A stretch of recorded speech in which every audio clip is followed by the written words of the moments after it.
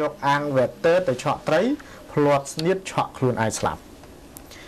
យុវជនម្នាក់បានស្លាប់ភ្លាមភ្លាមនៅនឹងកន្លែងក្រោយពីយកអាំងវ៉េទ័រទៅឆក់ត្រីនៅក្នុងបឹងវាលសំណាបដែលមានទីតាំងស្ថិតនៅក្នុង ភូមិព្រែកតអង3ឃុំពីមអុកញ៉ាអង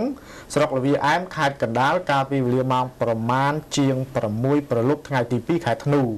បើតាមលោកវរៈសនីទូជាថុលដែលជាអធិការនគរបាលស្រុកលវីអែមបានឲ្យដឹងថាជនរងគ្រោះមានឈ្មោះហុកសុក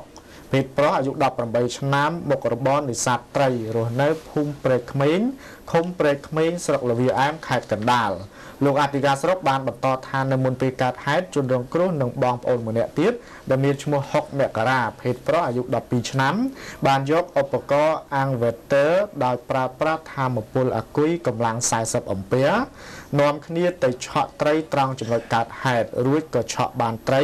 ហើយជនរងគ្រោះក៏ចុះទៅក្នុងទឹកដើម្បីទៅចាប់ចំពេលនោះដងឆក់ក៏ធ្លាក់ចូលទឹកបណ្ដាលឲ្យឆក់ទាំងជនរងគ្រោះស្លាប់តែម្ដង